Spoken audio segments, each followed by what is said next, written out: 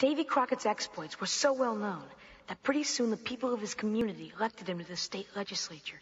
And is that like going out? Uh, yeah, Mom. Uh, night, Mom. Davy proved to be a wise legislator and was later elected to the Congress of the United States.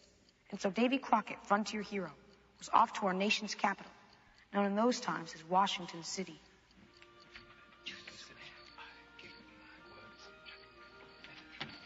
Excuse me, ma'am. Do you know where I could find Davy Crockett?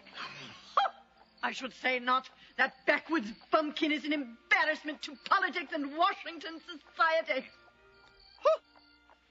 Him? She looked in a mirror lately? Young man, I'll thank you not to talk to my wife in that tone of voice, especially dressed like that. yeah, well, this is how we dress back east. This is back east. Uh, did I say back back east?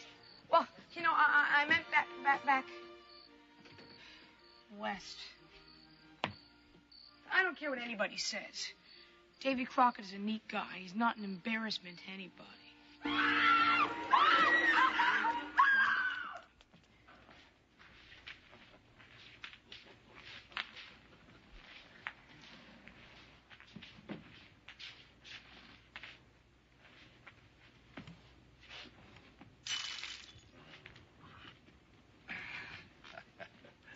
Howdy. I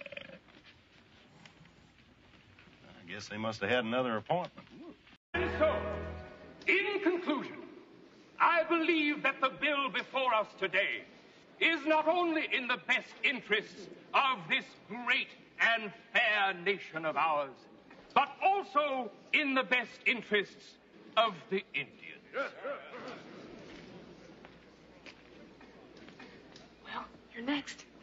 I can't wait to see the looks on their faces when you give them that speech. Maybe I ought to just forget about it, Ben. I can't compete with speechifying like that. What? What's he got that you haven't got? Well, for one thing, I can only talk out of one side of my mouth at a time. They'll have the thrill and adventure of moving to a brand new land and making a lot of new friends. What's more, what's more, we are willing to guarantee the Indians in writing that they will love their new homes. And I assure you, we will stand by that promise with the same firm resolve with which we have stood behind all our other promises to the Indians. Listen to all that hand clapping out there.